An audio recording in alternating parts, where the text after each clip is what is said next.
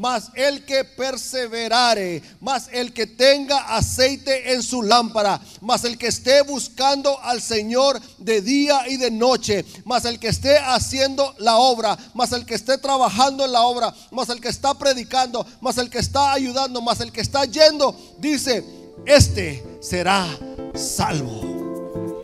El que perseverare será salvo.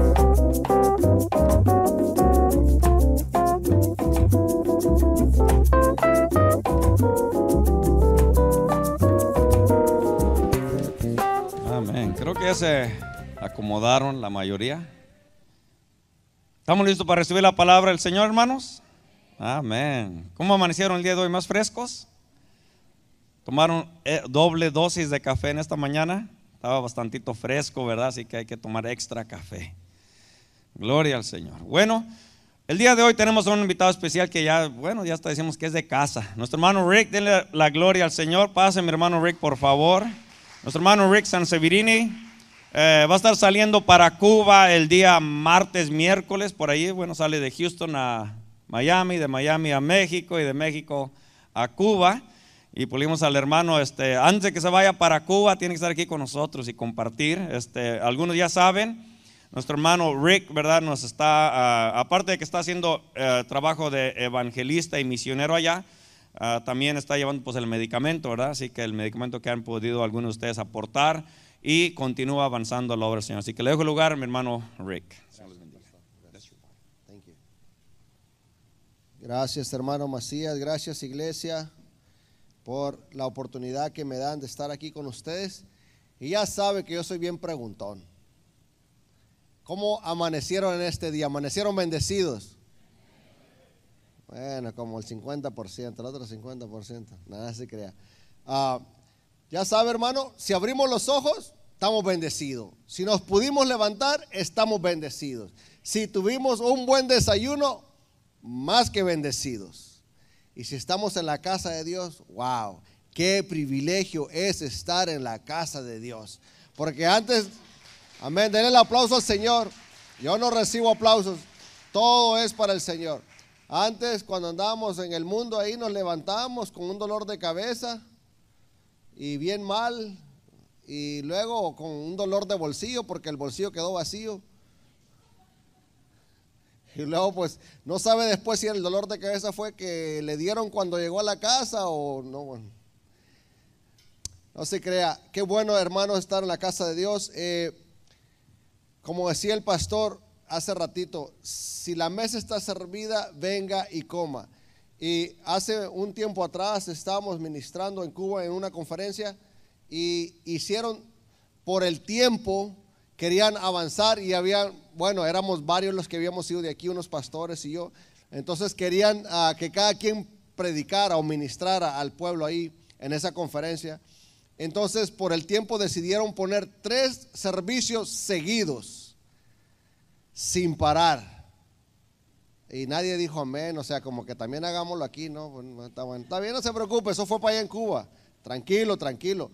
Eh, entonces era que predicaba el primero e hizo el llamado y pues pasó la mayoría de la gente y pues oraron y bueno, siéntese y viene el otro y otra palabra. Y luego a mí me pusieron al último. Y dije yo, ¿por qué no me pusieron de primero? Porque de primero, pues como quiera pasa la gente, pero ya el último, oiga hermano, ya pasé una vez, ya pasé dos veces, ya me arrepentí, ya me salvé, ya, ya reconcilié con el Señor, ya que hago la tercera vez. Y, meditando y pidiéndole, Señor, ¿qué le voy a decir a estos hermanos? Eh, ya pasaron dos veces, pues ¿qué les digo para que pasen la tercera vez? Y el Señor literalmente me dio algo que se lo voy a dar a usted.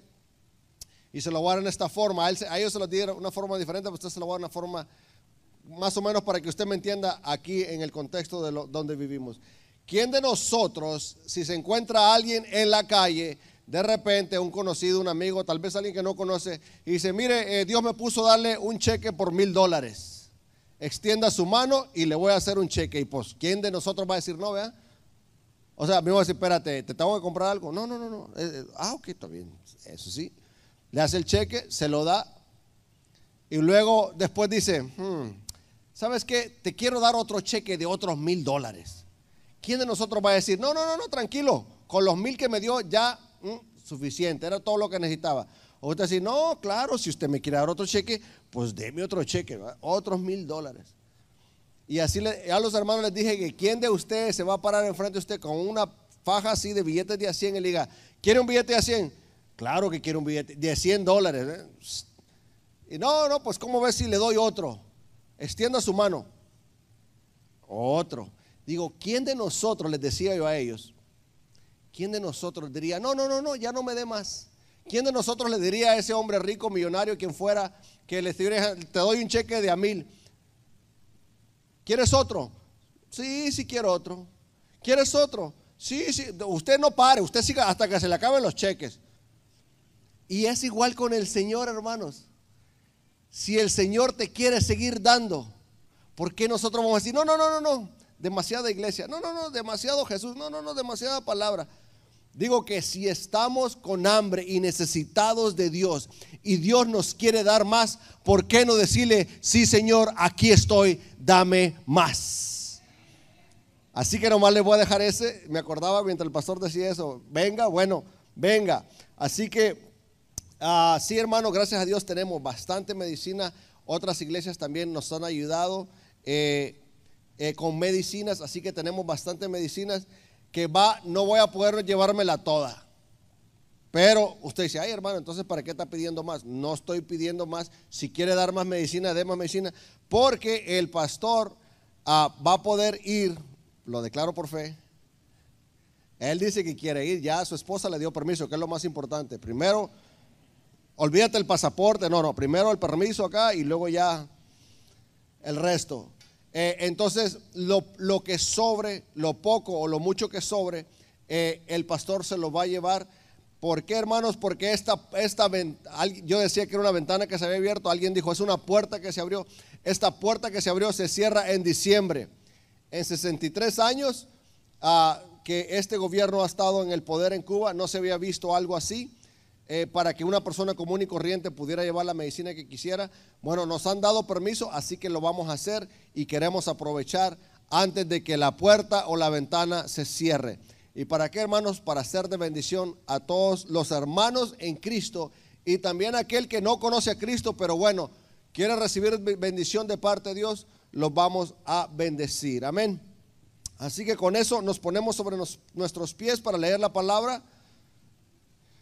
Y diga, ay hermano, ¿y por qué me tengo que parar? Y le voy a decir, ay hermano, pues vaya y léase ahí eh, en, el, Antiguo Testamento cuando leían eh, la palabra, todo el mundo se ponía de pie. Así que lo hacemos para honrar y uh, reverencia, reverencia a la palabra y para honrar al Señor en esta mañana. Eh, Mateo 25, 1. El título de este mensaje le he puesto Cristo viene pronto.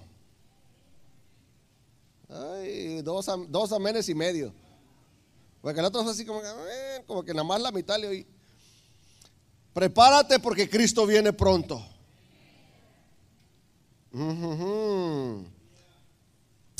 Mire, debemos de estar listos para cuando el Señor venga por su iglesia. Mateo 25, 1. Dice, entonces el reino de los cielos será semejante a diez vírgenes que tomando sus lámparas salieron a recibir al esposo. Cinco de ellas eran prudentes y cinco eran insensatas. Ahora note que cuando dice, habla de aceite, en el tiempo antiguo se usaba el aceite ah, para alumbrar las lámparas. Eh, en vez de usar gasolina o usar ah, petróleo, usar otra cosa que tal vez usted ha visto o ha escuchado o ha usado, bueno, en ese tiempo se usaba, ah, se usaba el aceite para alumbrar las lámparas. Dice, y cinco de ellas eran prudentes y cinco insensatas. Las insensatas tomaron sus lámparas no tomando consigo aceite, mas las prudentes tomaron aceite en sus vasos juntamente con sus lámparas. Oremos, Padre, te damos gracias en esta mañana, gracias por esta palabra. Señor, me pongo en tus manos para que no sea yo hablando. Hazme un lado, Espíritu Santo. Por favor, te lo pido Ah, no tengo que pedírtelo por favor, pero te lo pido, Señor, hazme a un lado. No quiero ser yo, Señor, el que hable en esta hora, pero que sea tu Espíritu Santo ministrándolos, Padre Santo, primeramente a mí y después a todo el que está aquí en este lugar y a todo el que nos escucha a través de las redes sociales. Padre, bendecimos tu nombre, alabamos tu nombre, la honra y la gloria sea a ti hoy y por siempre. En el nombre de Jesús te lo pedimos, Señor. Abre cada corazón y cada mente. Amén, amén y amén. Se puede sentar. ¿Cómo está mi caminar con el Señor? Si el Señor viniera ahora, ¿me fuera o no me, o me quedara? Mm, qué buena pregunta. No levante su mano, no levante su mano, pero si usted va, bueno, cualquiera de nosotros fuera a una iglesia y, pregunta, hermano, no levante su mano, levante su mano el que se quiere ir con Cristo Jesús. A ver, todo el que se quiere ir, toda la, toda la gente, aquí no, en esta iglesia no, esto estamos hablando de Cuba, toda la gente levanta la mano. Ah, pues que todos nos queremos ir, nadie se quiere quedar. Qué bueno, ¿verdad? Gloria a Dios por eso. Pero la cosa es esta. Si todos nos queremos ir con Cristo, porque estamos esperando que Él venga, número uno, estamos esperando que Cristo venga, mm, no me conteste, nada más piénselo y medítelo. Digo, ¿cuándo fue la última vez que nos levantamos? Oye, tengo que prepararme porque el Señor viene pronto. ¿Cuándo fue la última vez que nos levantamos pensando así? Bueno, mire, eh, cuando decimos, hermanos, véngase al culto de la oración, en esta iglesia no, pero en otras iglesias normalmente es el 10% el que está en el culto de oración. Vamos a hacer una vigilia. Bueno, yo sé que esta iglesia ha atendido mucha gente así, por eso digo, no es esta iglesia, pero normalmente llegan el 15 al 20% a la vigilia. Eh, vamos a hacer, y, aquí por eso digo que aquí no se aplica, porque esta iglesia cuando dijo el pastor, vamos a limpiar, casi la iglesia, casi todos estaban aquí. So que bueno, mi punto es este, que a la hora de orar y ayunar, en veces somos pocos, pero a la hora que nos queremos ir con el Señor, somos muchos. Por eso es que digo, tenemos que estar listos para cuando el Señor venga. Y cuando Jesús está hablando en Mateo 25, porque este no es nadie más que Jesús, hablando del reino de los cielos, dice, lea y te ponga atención, dice, entonces el reino de los cielos será semejante, será en el principio, en el futuro. Ahora puede usted, ¿qué es el reino de los cielos? Acuérdese que el Señor Jesús le dijo a Pedro, y tú eres Pedro, y sobre esta roca edificaré mi iglesia y te daré la llave de los cielos. Y por eso decía la otra vez que hay cierta gente que cree, o ciertas religiones que creen que Pedro está allá arriba, en, a, la, a la fuera del portón con las llaves. Porque el Señor Jesús le dijo, te voy a dar las llaves del reino de los cielos. Pero cuando usted lee Hechos 3, usted mira que cuando el Espíritu Santo cae, esto lo dije la otra vez, cuando el Espíritu Santo cae y, y, todos hablan en lenguas, después de que el Señor Jesús asciende, eh, y vienen todo el toda mucha gente se acerca, ¿qué está pasando? Oyeron un ruido, oyeron un estruendo, ¿qué está pasando? Todos estos locos que están diciendo. Bueno, el único que se levanta para hablar es Pedro. Y Pedro habla y se convierte en cinco mil personas. ¿Qué quiere decir la llave del reino de los cielos? Es que Dios o Jesús le dio a Pedro el privilegio de ser el primero de predicar el Evangelio con el poder y la unción del Espíritu Santo y un hombre siendo usado a través de este poder de Dios. Muchos otros se convirtieron. Fue la primera vez que el Evangelio se predica. Se predica a Cristo, no solo que vino, no solo que murió, pero se predica a Cristo resucitado y cinco mil judíos se convierten. La iglesia nació se abrió una nueva puerta, a donde ahora nosotros hemos venido a entrar por esa puerta, como escuchando la palabra, creyendo la palabra, recibiendo la palabra y recibiendo a Cristo Jesús como nuestro Salvador. Eso es lo que la iglesia, es el trabajo de la iglesia, ir y predicar el Evangelio. Entonces, cuando Él habla, me regreso a Mateo 25, cuando Él habla el reino de los cielos será semejante a. Está hablando de la iglesia. La iglesia será semejante a esto. Y habla de diez vírgenes, cinco prudentes, cinco insensatas. Y ahora el aceite para nosotros representa el Espíritu Santo.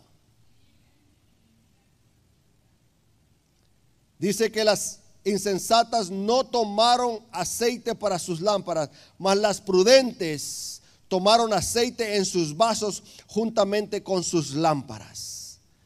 ¿A qué se refiere el Señor Jesús? Que debemos tener la unción del Espíritu Santo y, dice, ¿qué es la unción? Es el poder de Dios a través de ti trabajando, alcanzando, sanando, bendiciendo, orando, levantando, edificando.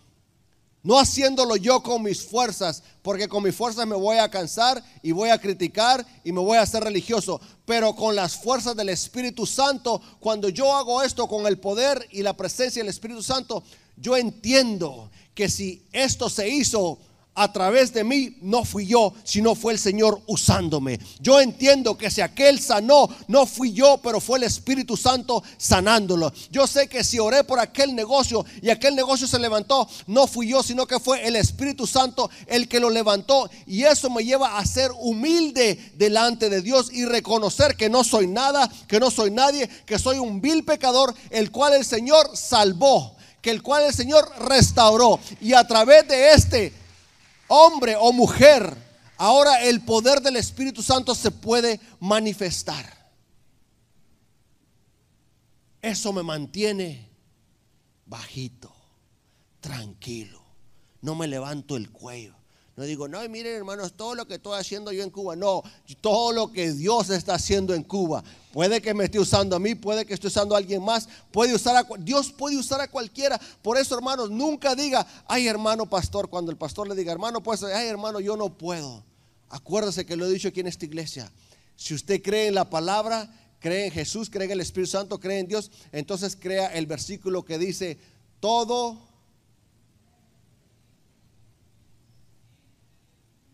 No dice, unas cosas la puedo en Cristo, ciertas cosas la puedo en Cristo, de vez en cuando lo puedo. No dice, todas las cosas les es posible para aquellos que creen. Y todo lo puedo en Cristo que me fortalece.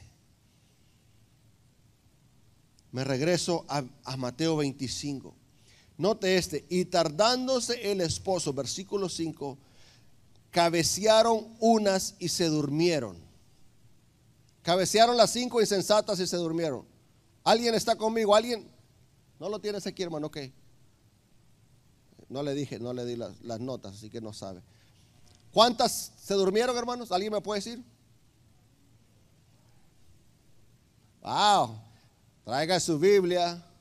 Mire, ay hermano, es que dejé mi Biblia, pues bájala al teléfono, bájala a la tableta, no sé.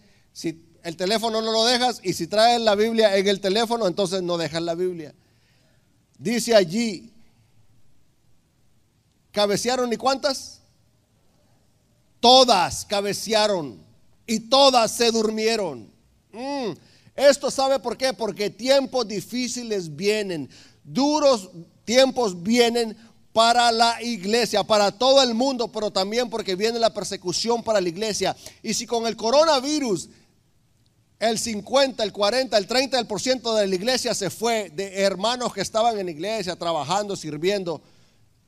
Y ahora no van a la iglesia, ya no quieren venir a la iglesia. Es más, unos se fueron y ahora están criticando a la iglesia. Oh, que para acá, que para allá. Pero si estabas con nosotros, ¿qué estás haciendo allá ahora? Si por un virus que claro ha venido a afectar a todo el mundo, hay gente que se ha muerto por este virus. Acuérdese, Dios es soberano. ¿Cuántos lo saben? Si alguien se fue, es porque Dios lo llamó y era su tiempo. ¿Cuántos de nosotros aquí no deberíamos de estar aquí? Y aquí estamos. ¿Cuántos nosotros éramos malandros y andábamos haciendo cosas malas? Pero aquí estamos. De cuántas cosas el Señor nos ha librado, pero aquí estamos. Y si estamos es porque a Él le ha placido que estemos en su casa en este domingo hermoso. No estoy aquí porque soy muy inteligente, porque soy muy fuerte, porque... No, no, no, no, estoy aquí porque al Señor le ha placido. Dice, y tardándose el esposo, cabecearon todas y se durmieron.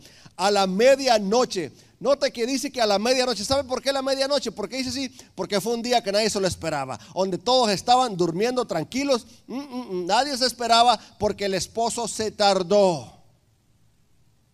Parece que Cristo se tarda, pero sabe que Cristo no se tarda. Sabe que Cristo viene al tiempo indicado. Y lo único que parece que tarda es porque le quiere dar la oportunidad a todos y cada uno de ustedes, incluyéndome a mí, para que prediquemos su evangelio y podamos salvar más almas antes de que Él venga.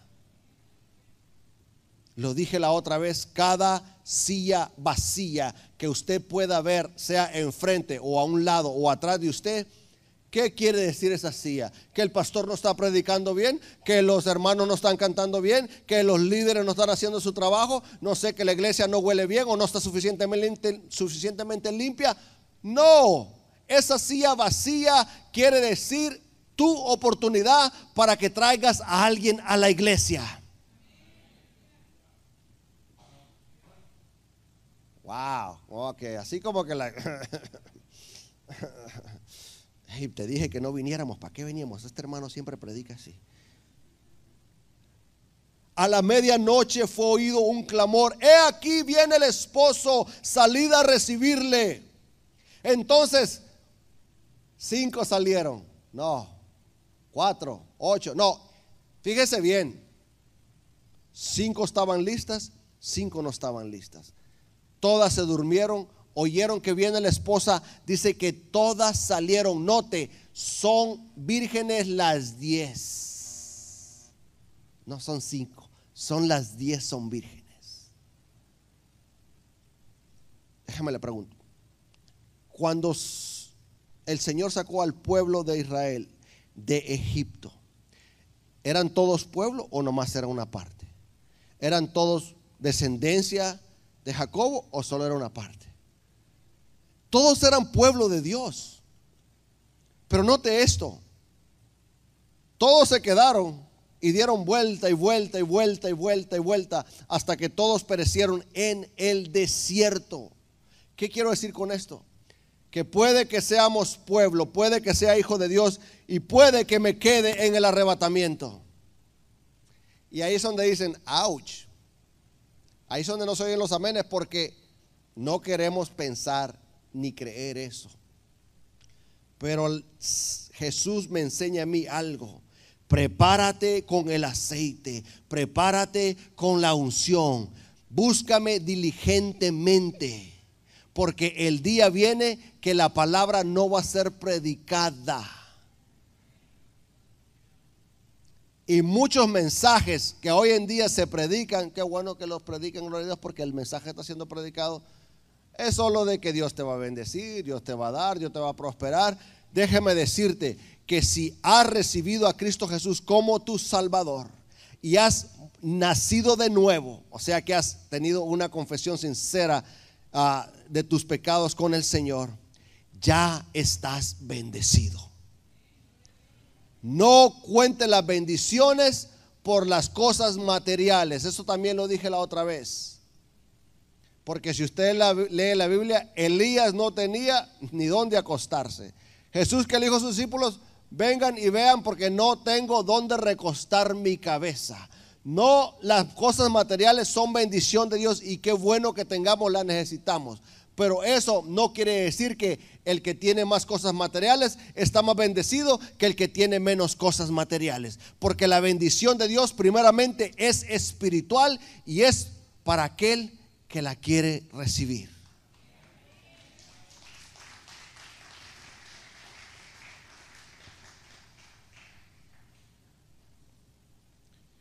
Versículo 7. Entonces todas aquellas vírgenes, note que lo vuelve a decir y lo recalga, todas aquellas vírgenes se levantaron y arreglaron sus lámparas. Aunque para qué arreglas la lámpara si no tienes aceite. Mm, mm, mm, y las insensatas dijeron a las prudentes, danos de vuestro aceite porque nuestra lámpara se apaga. Mas las prudentes respondieron, no, no sea que no haya suficiente para nosotras y vosotras. Y más bien a los que venden y compra para vosotros. Lo que esto quiere decir, yo he pagado el precio por mi aceite. ¿Quieres aceite? Paga el precio.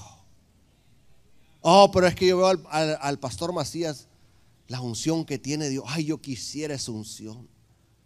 Ay, no, pues la hermanita que viene a orar, ay, yo quisiera la, la, unción de la hermanita. O el hermanito que siempre está ayunando, quisiera esa unción. Note, yo lo cuando estaban empezando, yo miraba gente que predica en la televisión y tiene ministerio super. Ay, yo quisiera la unción de este hermano, o yo quisiera esto. Estás viendo, sí, Dijo eh, eh, este pastor afroamericano, Tiri Jakes, dijo, cuando todo el mundo viene conmigo, me dice, ay, pásame la unción. Dice, tú quieres ver, tú quieres tener lo que ves que yo tengo, pero tú no quieres ver los días que yo estuve de rodillas, los días que yo estuve llorando, los días que yo estuve enfermo, los días que no tenía para hacer nada. Tú no has visto cuando yo me he metido en el cuarto oscuro a simplemente buscar al Señor y aclamarle para que me ayude porque estoy a punto de tirar la toalla.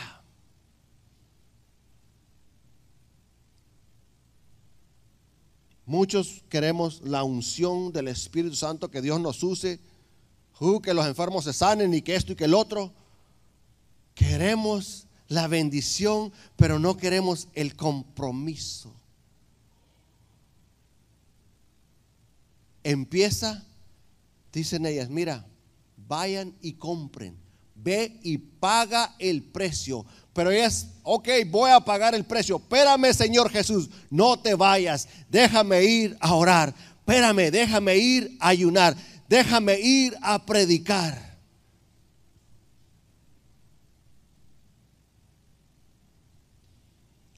Más, entre tanto, versículo Dios, que ellas iban a comprar, note, mientras ellas iban a pagar el precio por el aceite, vino el esposo y las que estaban apercibidas entraron con él a las bodas y se cerró la puerta. Tipo como en Noé, eh, es la similitud de la palabra de Dios. Se cerró la puerta, se cerró la puerta, se cerró la puerta. Pero él respondiendo dijo, ah, perdón, versículo 11, y después vinieron también las otras vírgenes diciendo, Señor, Señor, ábrenos. Pero él respondió y dijo, de cierto os digo, no las conozco.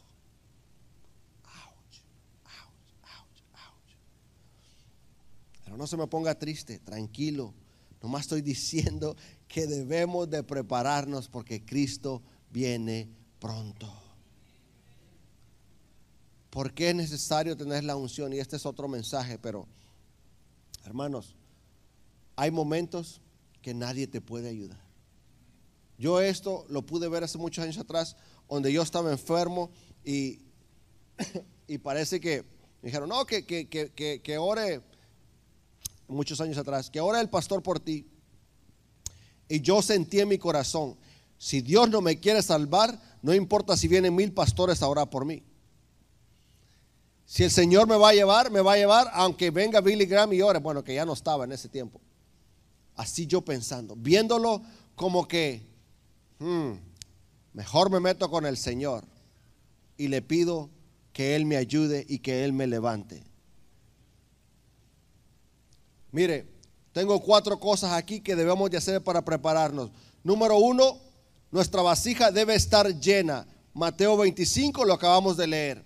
Número dos, mi camino debe ser en el Señor y con el Señor. Proverbios 3, 6 y 7. Cuando vayamos a tomar una decisión, hermano, que nos ayude el Señor a tomar una decisión. No tomemos decisiones por nosotros mismos, aunque muchas veces lo hacemos, porque así somos los seres humanos. Reconócelo en todos tus caminos y Él enderezará tus veredas. No seas sabio en tu propia opinión teme a Jehová y apártate del mal. Yo dije, número uno, la vasija llena. Número dos, el camino debe ser el camino del Señor, no el mío. Porque en veces, mira, aunque te quieras desviar poquito, el Señor te endereza. Señor, estoy haciendo lo correcto y ya vas por aquí. No, no, no, no, espérate, espérate, espérate. Pero ¿cómo vas a poder ver esto? ¿Cómo vas a poder ver? Mire, la palabra de Dios o te aparta. Si tú lees la palabra de Dios, la palabra de Dios te aparta del pecado. Pero si tú te apartas de la palabra de Dios, te apartas de Dios al mismo tiempo. Es necesario que estemos en oración. Algo que me dijo el Señor, ya lo dije, parece, ya lo dije aquí en esta iglesia, pero lo voy a decir porque es un recordatorio. Muchos de ustedes tal vez no estaban aquí. En Perú, predicando, en medio mensaje, el Señor me dijo, dile a la iglesia que no está leyendo mi palabra. Y no me levante la mano nadie, pero realmente, ¿cuánto tiempo leemos la palabra de Dios diariamente? ¿Cuánto tiempo estudiamos la palabra de Dios semanalmente? ¿Cuánto tiempo meditamos en lo que leímos? El Señor me dijo, dile a la iglesia, diariamente o semanalmente, no le digo mensualmente porque ya es mucho tiempo. La palabra de Dios me va a apartar del pecado y me va a llevar a la senda que es la correcta, la indicada. Es la que me va a enderezar. Por eso dice, reconócelo en todos tus caminos. Número tres, su palabra debe estar en mi boca. Jeremías 1.9. Y extendió Jehová su mano y tocó mi boca y me dijo Jehová, he aquí he puesto mis palabras en tu boca. ¿Qué palabra sale de nuestras bocas, hermanos? Palabra ociosa, palabra, allá en el sabor dicen maleducada o malcriada. Palabra, eh, en México dicen cuando la gente dice palabras, dice palabras de maldición. En el sabor dice simplemente dicen malas palabras.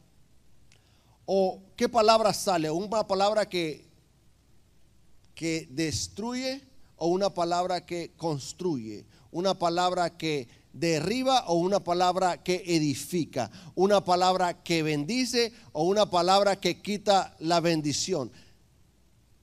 Piense qué palabras salen de su boca en su casa, en su trabajo y en su diario caminar porque lo que debe de haber en la boca de los hijos de Dios es palabra de Dios.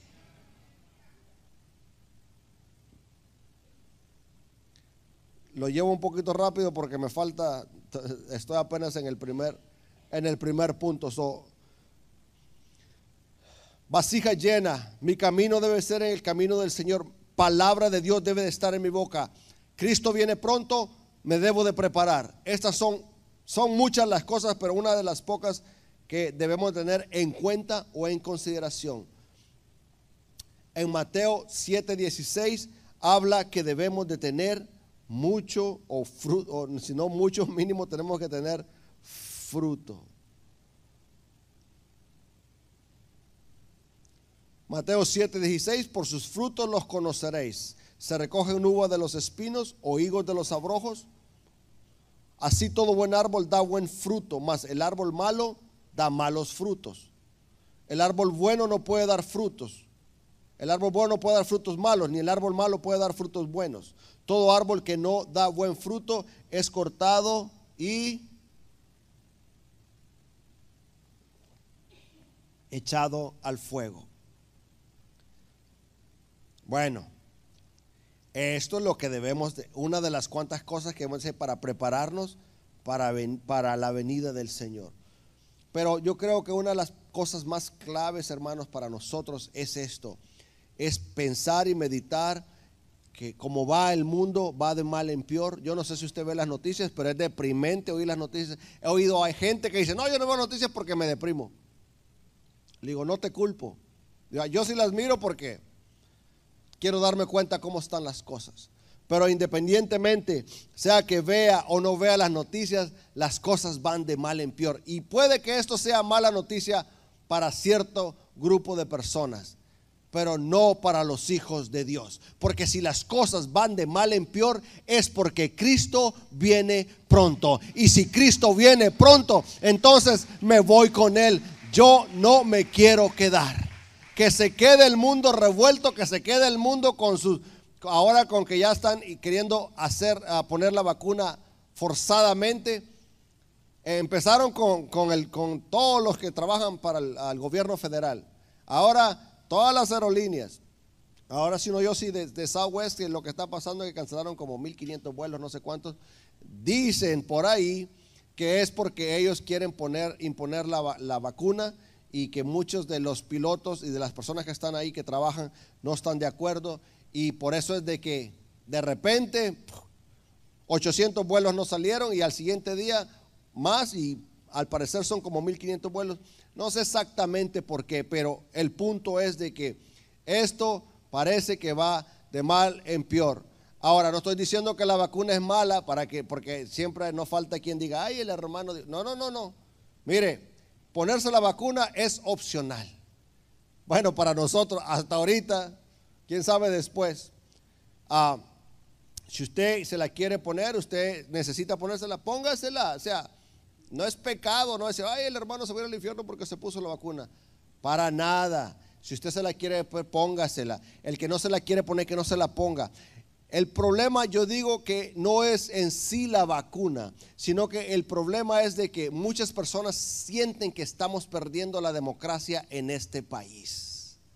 Porque la democracia es que tú puedes escoger sí o no. Pero cuando ya te va a obligar tu gobierno a hacer algo que tú no quieres, la democracia se está perdiendo o ya se, bueno, voy a decir se está perdiendo, no sé si ya se perdió. Pero por eso mucha gente dice, no, yo no me la voy a poner porque yo, no, esto no me van a decir a mí lo que tengo que hacer o lo que yo voy a poner en mi cuerpo. Bueno, mi punto es, independientemente es opcional, lo de la vacuna, yo nomás lo estoy mencionando, no quiero traer controversia ni mucho menos. Eh, el que se la quiera poner, ese es mi punto de vista, se la ponga, el que no, no se la ponga. Yo creo que tenemos al libre albedrío. Amén. El Señor nos dio libre albedrío de escoger al Señor o al mundo.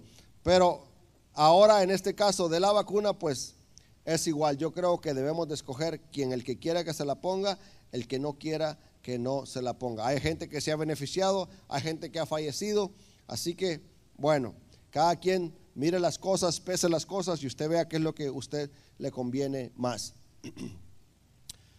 Momentos difíciles vienen, y lo que estaba hablando ahorita.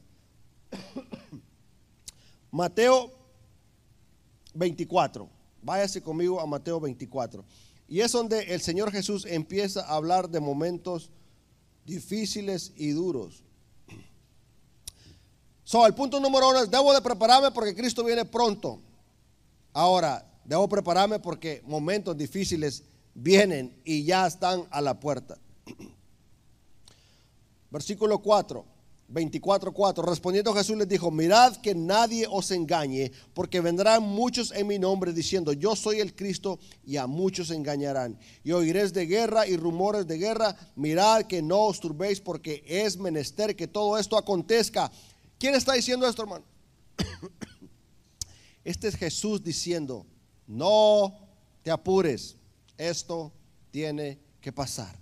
Tranquilo, tranquilo. Si Jesús lo dice tranquilo, no te turbes, porque esto es menester que acontezca, esto debe de pasar, porque se levantará nación contra nación y reino contra reino, y habrá hambre.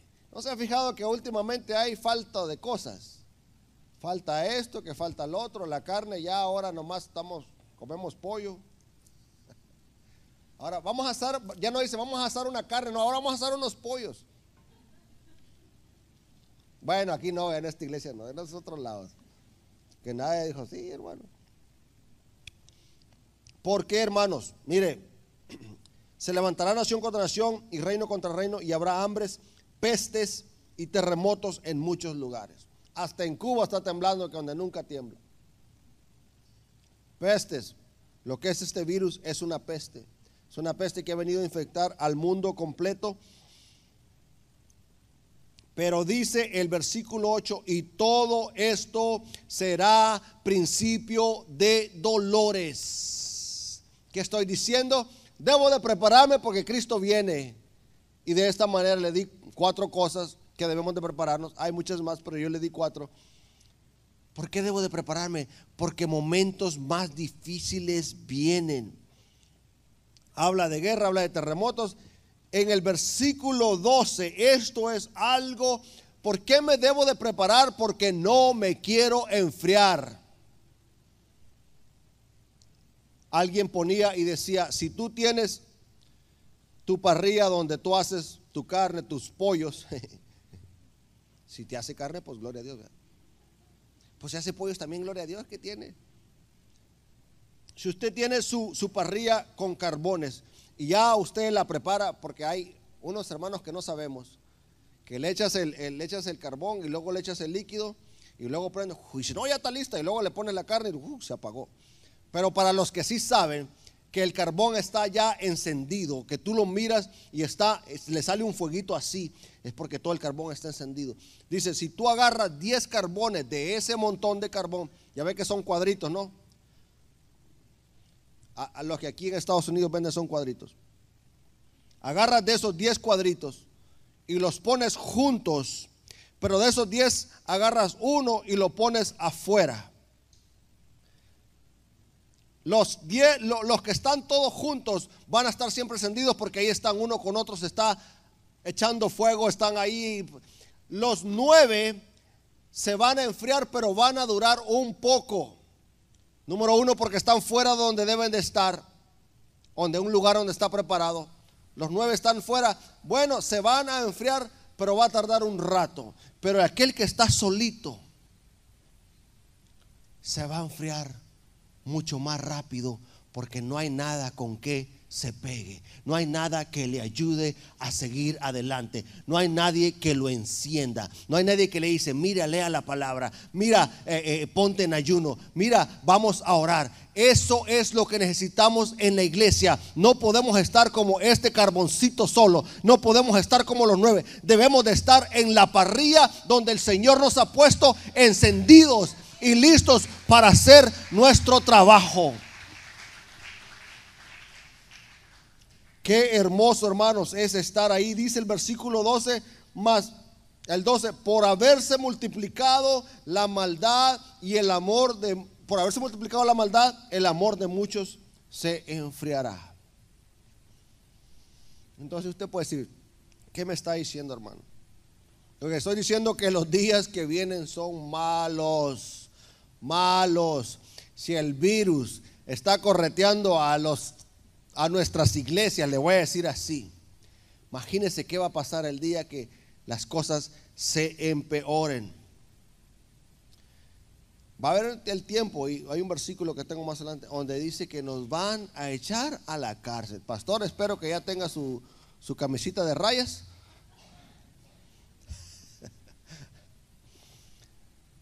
Va a venir persecución para los cristianos. No van a creer que nos congreguemos. No van a creer que prediquemos la palabra.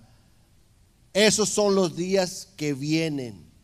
Debo de prepararme porque Cristo viene pronto. Pero también debo de prepararme porque los días que vienen son malos. Pero me gusta lo que dice en el versículo 13 mas el que perseverare, mas el que tenga aceite en su lámpara, mas el que esté buscando al Señor de día y de noche, mas el que esté haciendo la obra, mas el que esté trabajando en la obra, mas el que está predicando, mas el que está ayudando, mas el que está yendo, dice, este será salvo. El que perseverare será salvo. El que siga trabajando Pase lo que pase, el que siga haciendo lo que el Señor nos ha mandado, no importa lo que el gobierno o la gente o los grupos, aquellos que están en contra de nosotros, digan. Es más, más adelante hay un versículo por ahí. No importa si mi familia se pone en contra de mí. Porque por ahí dice más adelante que te van a echar a la cárcel hasta tu propia familia.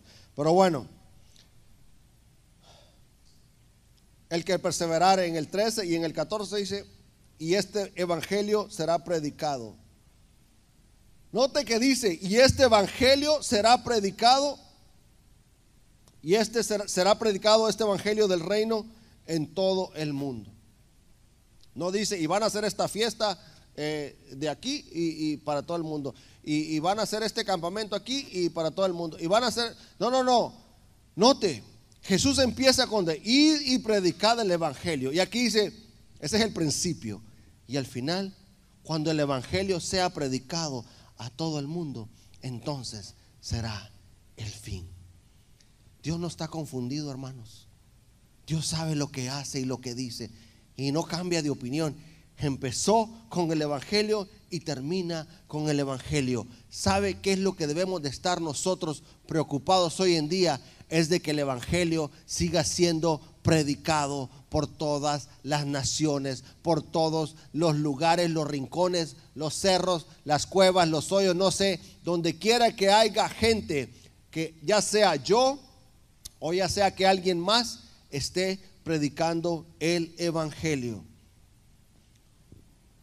Se me olvida el reloj, hermano. Usted sabe que en Cuba no hay muchos relojes.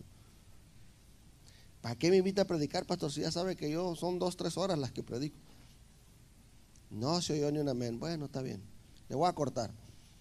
Hay que trabajar. Hay que trabajar, hermanos. Mientras esto está pasando, hay que trabajar. Primera de Corintios 15, 58. Así que, hermanos míos, amados, estad más o menos. No, no, no, estad firmes y constantes. Lo que acabo de decir, constantes, dándole, siguiendo, sin parar. Eso quiere decir constante. Creciendo en la obra del Señor de vez en cuando. No, no, creciendo en la obra del Señor siempre. Sabiendo que vuestro trabajo en el Señor no es en vano.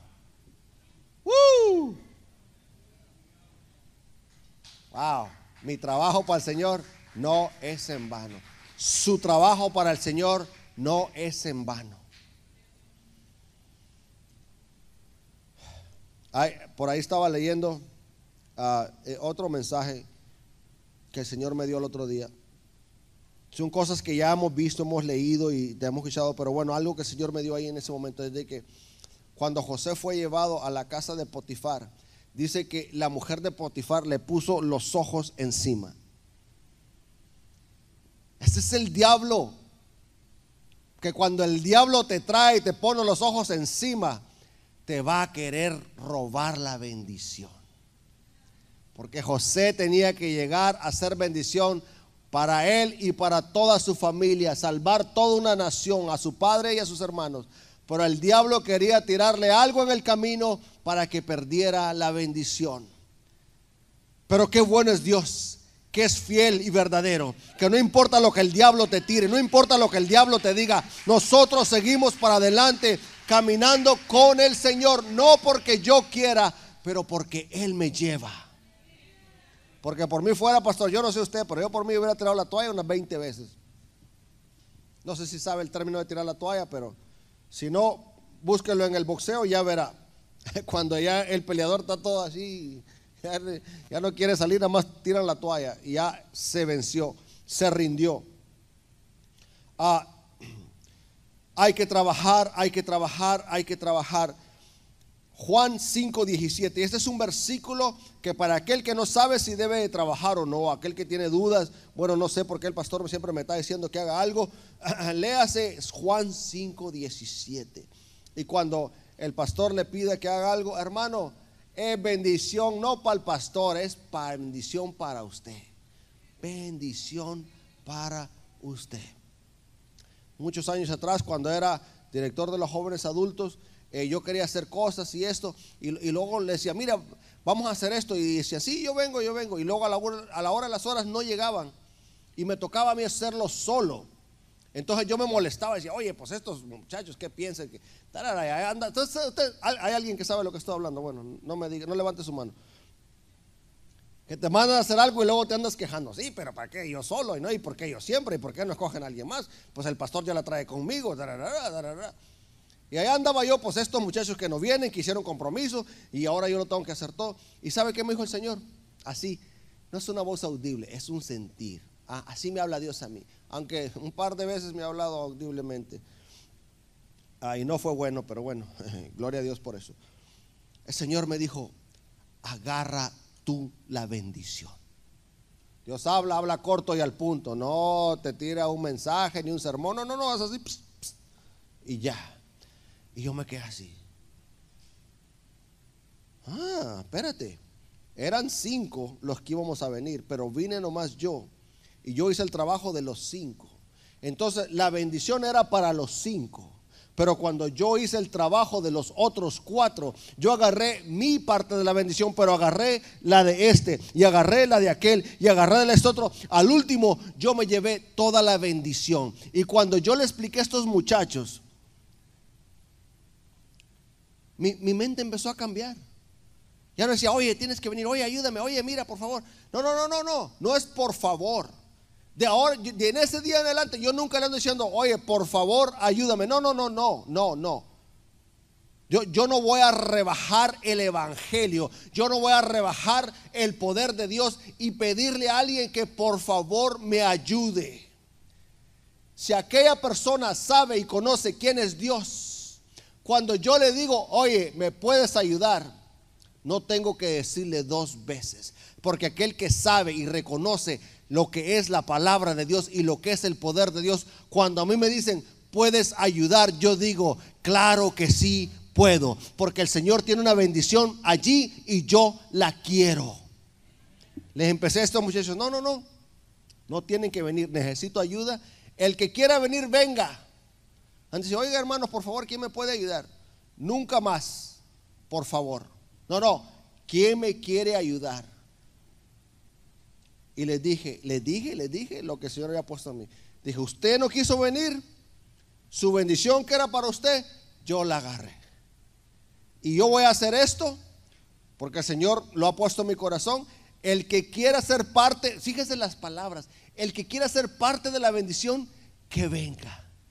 Y desde entonces nunca más me hizo falta la ayuda. Yo creo que lo que Dios quería que viera es que yo no puedo rebajar lo que es de Dios simplemente para que alguien lo agarre o lo tome. Dios es grande y todas las cosas están en sus manos. Él es todopoderoso. Dios necesita, no necesita andar diciéndole, por favor ven a la iglesia, por favor ayúdame, por favor da tu ofrenda, por favor da tu diezmo. No, Dios no es así. Dios cuando nos dice algo, nos dice una vez. ¿Sabe por qué he aprendido? ¿Por qué Dios me habla y me habla una vez? Porque yo tengo la decisión de decir sí o de decir no. Dios no le ruega a nadie. ¿Sabe por qué? Porque Él es soberano y es todopoderoso. Y antes que todos nosotros ni siquiera pensábamos en nacer, Él ya era Dios. Y todas las cosas ya estaban en sus manos. Así que cuando el Señor nos pide que hagamos algo, sea a través del pastor o a través del líder, no te pierdas la bendición. Bueno, dejémoslo así porque si no me emociono. Uh, ok, se acabaron los amenes, pero gloria a Dios. Juan 5:17, Jesús le respondió, mi padre, bueno, sí, mi padre hasta ahora trabaja y yo trabajo.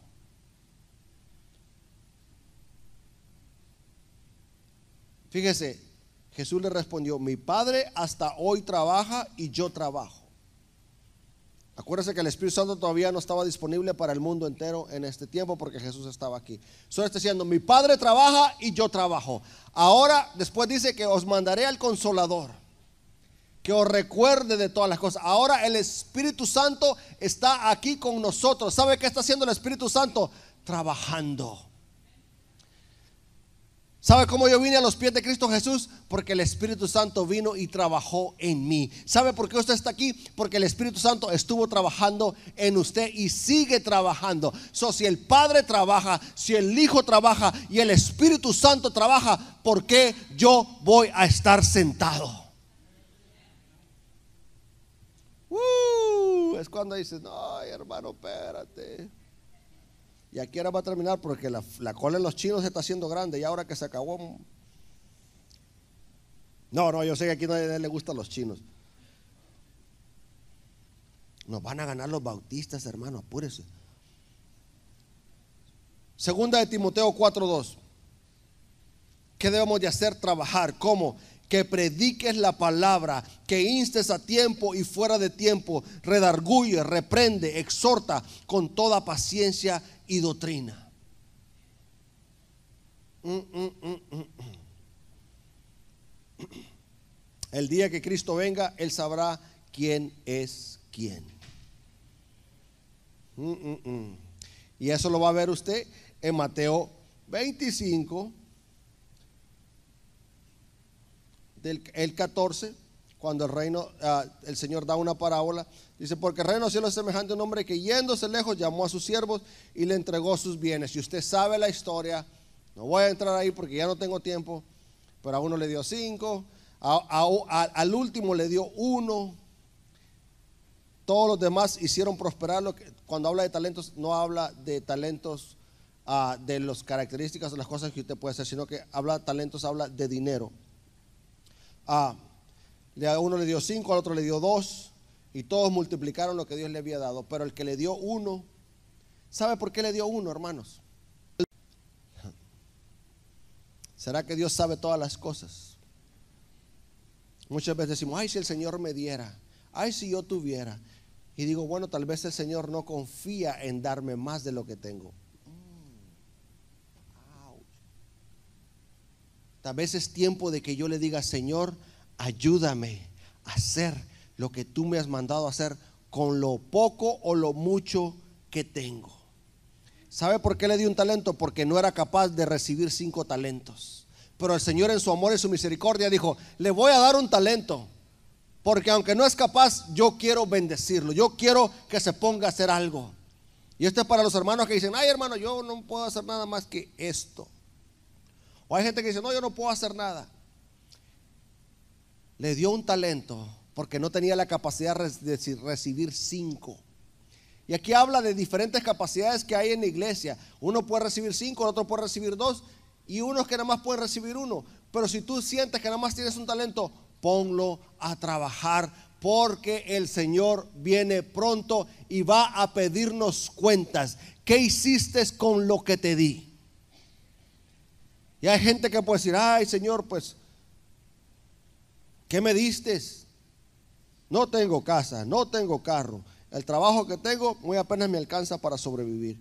¿Qué me diste? Cuidado, no pensemos así nunca, porque el Señor dice, te di vida, te di salud, te di dos ojos, te di dos pies, te di dos manos, te di una boca, te di una lengua.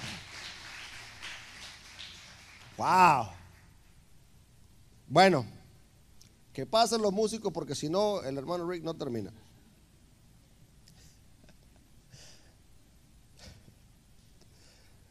Amén, gloria a Dios. No se cree, ya vamos a terminar, hermanos, ya le vamos a ganar a todos los que van a llegar ahí. No, yo creo no, ¿verdad?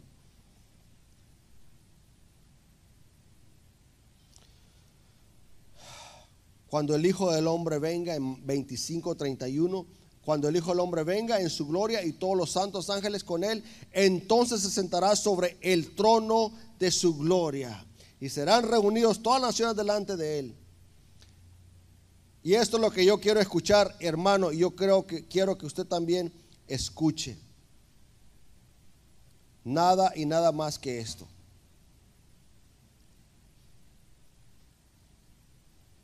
Si tiene su Biblia, léalo conmigo. Si no, Mateo 25, 34. Entonces el rey dirá a los de la derecha Venid benditos de mi Padre, heredad el reino preparado para vosotros desde la fundación del mundo, porque tuve hambre y me diste de comer, tuve sed y me diste de beber, fui extranjero y me recogiste, estuve desnudo y me cubriste, enfermo y me visitaste, en la cárcel y viniste a mí. Entonces los justos responderán, versículo 37, diciendo, Señor, ¿cuándo te vimos hambriento? Y te sustentamos, o sediento y te dimos de beber. ¿Y cuando te vimos extranjero y te recogimos, o desnudo y te cubrimos? ¿O cuando te vimos enfermo en la cárcel, o en la cárcel y vinimos a ti? Y respondiendo el rey dirá, de cierto, de cierto les digo, en cuanto lo hiciste a uno de mis hermanos, ¿a quién? A uno de mis hermanos más pequeños, a mí también lo hiciste. Gloria a Dios por eso. La recompensa es para todos. Colosenses 3:23 y 20, bueno, vamos a hacer 3:23. Ya pueden pasar los músicos, porque si no el hermano Rick no se va.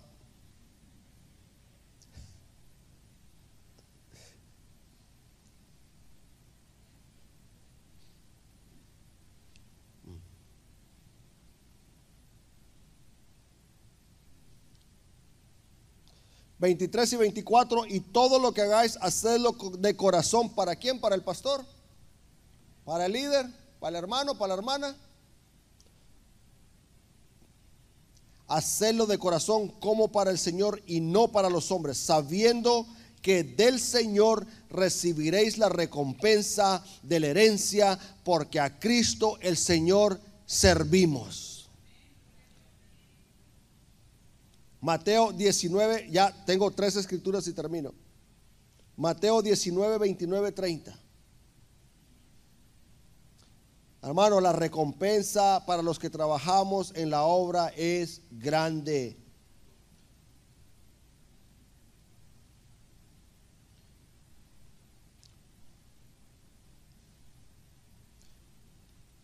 Eso es lo que yo decía hace rato, pero bueno, lo dejamos así. Y cualquiera Nomás el 29. Y cualquiera que haya dejado casas o hermanos o hermanas o padre o madre o esposa o hijos o tierras por mi nombre recibirá cien tantos y heredará la vida eterna. Quien quiera que dejare cualquier cosa por mí, dice el Señor Jesús, le voy a multiplicar cien veces más.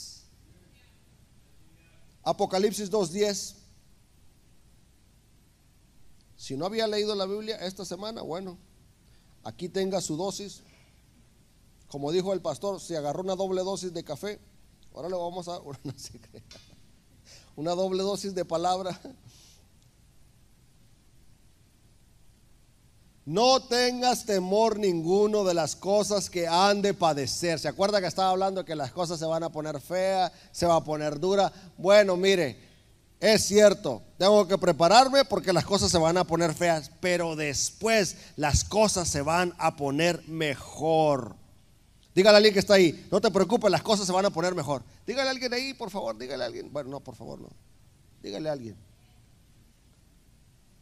¿Sabe qué? Hoy en día hay gente que está pasando por cosas tan difíciles que necesitan oír algo positivo. Y yo no es que no esté siendo positivo, yo simplemente estoy explicando las cosas como están y cómo se van a poner, pero también quiero terminar como, como Dios tiene una bendición para cada uno de nosotros. No tengas temor de las cosas que han de padecer. He aquí el diablo va a echar a algunos de vosotros en la cárcel, a unos, no a todos para que seáis probados y tendréis tribulación de 10 días. Los 10 días son, representativos. Sé fiel hasta la muerte y yo te daré la corona de vida. Sé fiel y yo te daré la corona de vida. Wow.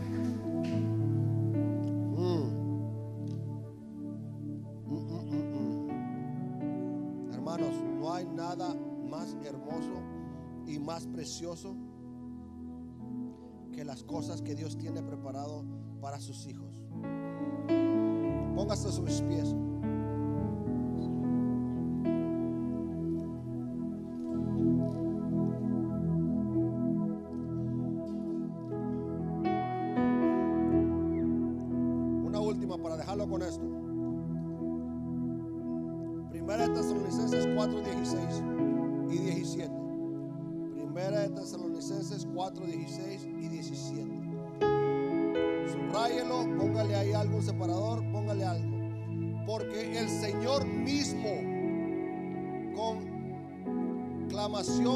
Y con voz de arcángel y con trompeta de Dios, descenderá del cielo y los muertos en Cristo resucitarán primero para aquellos que hemos perdido seres queridos.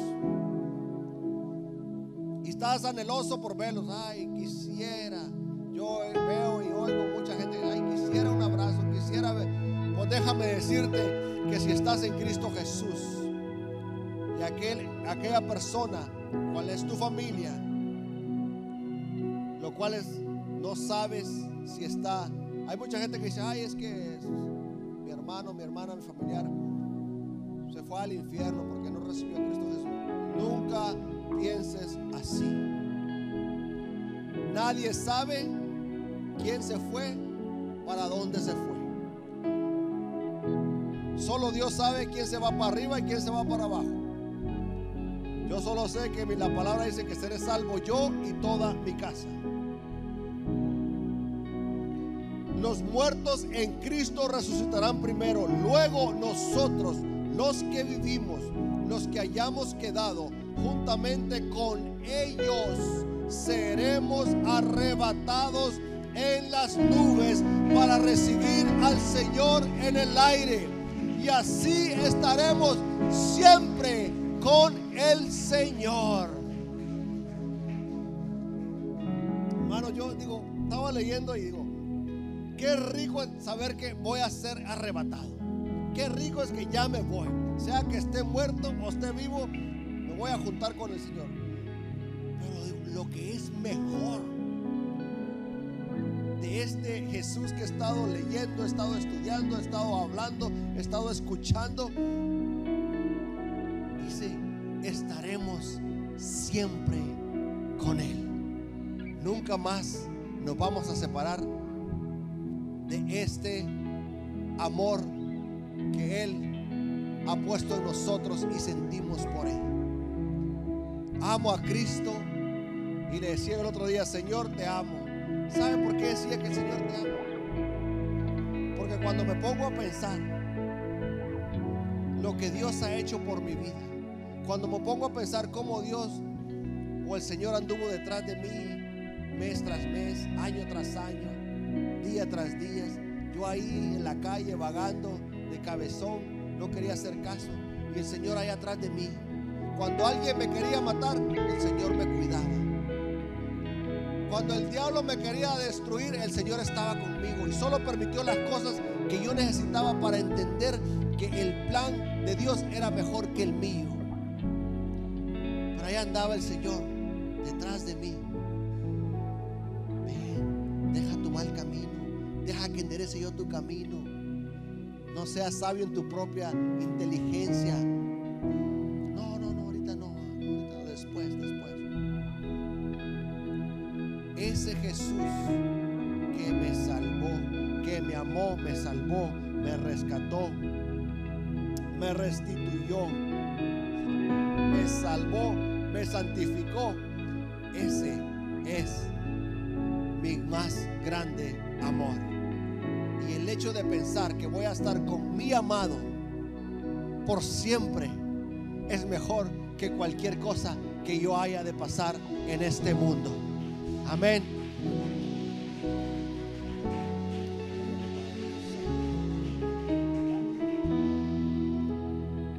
Yo no sé si usted ya está listo. No lo sé. Yo le voy a decir una cosa. Yo no creo que estoy listo.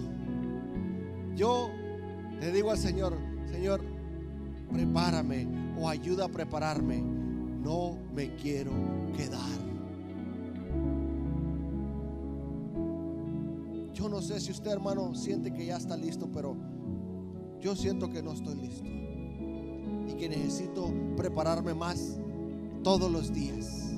Todos los días, todos los días. Señor, prepárame, Señor, prepárame. Señor, ayúdame a prepararme. Quiero estar preparado. No quiero que mi vasija esté vacía. Quiero pagar el precio por el aceite de la unción. De las diez vírgenes, todas cabecearon y se durmieron. Pero habían cinco que tenían una vasija con aceite y una lámpara preparada. Y puede, hermano, que en medio de la situación, no voy a decir no, nunca lo voy a hacer porque no sé. Puede que en la medio de la situación yo cabecee. Puede que las cosas se pongan tan duras y tan feas, yo cabecee y me quede dormido. De hecho, lo voy a hacer porque la palabra lo dice. Si es que estoy vivo. si Dios me da tanta vida así o viene antes de que yo me vaya. En ese cabeceo que yo me quede dormido, voy a seguir estando agarrado de la presencia de Dios, del aceite, de la unción del Espíritu Santo.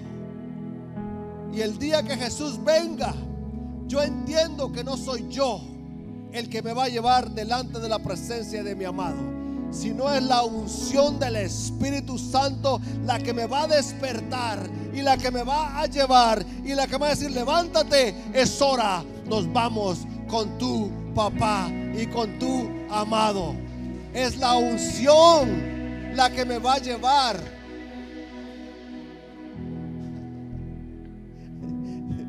Y ahora lo estoy viendo así. El tiquete para entrar a la boda del Cordero es la unción del Espíritu Santo. Wow. Yo no sé si usted está preparado, hermano, pero yo quiero invitar aquí al altar todo aquel que quiera prepararse, todo aquel que necesite prepararse, todo aquel que necesite que el Señor le ayude a prepararse, le quiero invitar aquí al altar. Y mientras los hermanos cantan algo, venga usted y dígale con sus palabras, con su mente, con su corazón, Señor, necesito que me ayudes. No me quiero quedar. Prepárame, Señor. Permíteme tener la vasija llena de aceite.